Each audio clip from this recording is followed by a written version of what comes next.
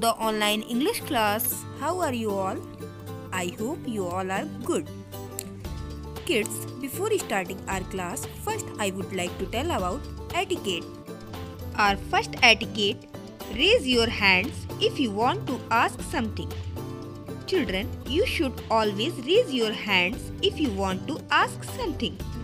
Next, wait for your turn to give any answer. Children, you should always wait for your turn to give any answer. I hope you all will follow these good habits in your daily life. Now, let's revise some GK questions. Children, do you know where is the gateway of India? Tell me, what is the answer? Very good. The gateway of India is in Mumbai. Speak with me. The gateway of India is in Mumbai. Next question. Which is our national anthem? Tell me, which is our national anthem?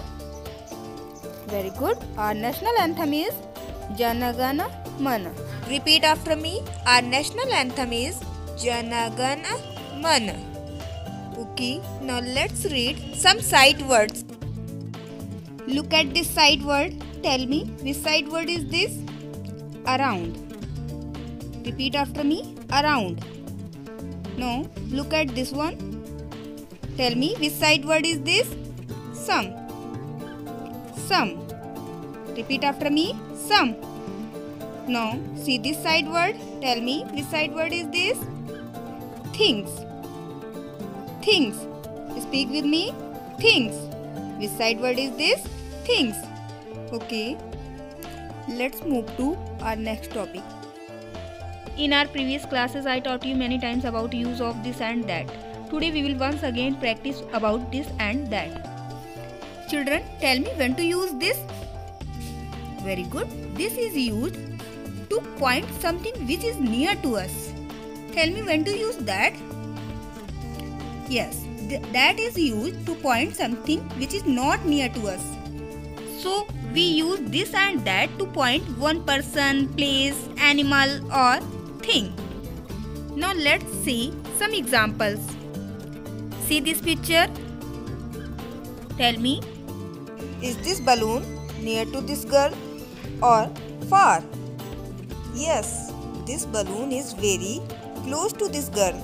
So what you will use? This or that? This. Why you will use this? Because this balloon is very near to her. When something is very close to us, so we use this. So you will see this is a balloon. See this picture? Tell me what can you see in this picture? Apple. Tell me is this apple near to him or far? Far. So which word would you use? This or that? That. Very good.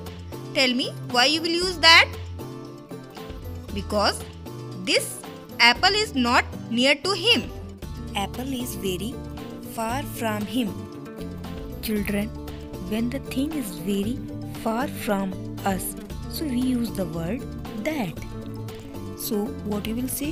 You will say that is an apple. Look at this picture and read this sentence. This is a cat. So, here we have used this. Tell me why we have used this in the sentence? Because this cat is very near to me. This cat is not far away from me. See this picture and read this sentence. That is a car. This boy says that is a car. So here this boy has used that. Tell me why he has used that in this sentence? Because car is not near to him. Car is far from him. Children, we use the word that to describe the object which is not near to us. Look at this picture.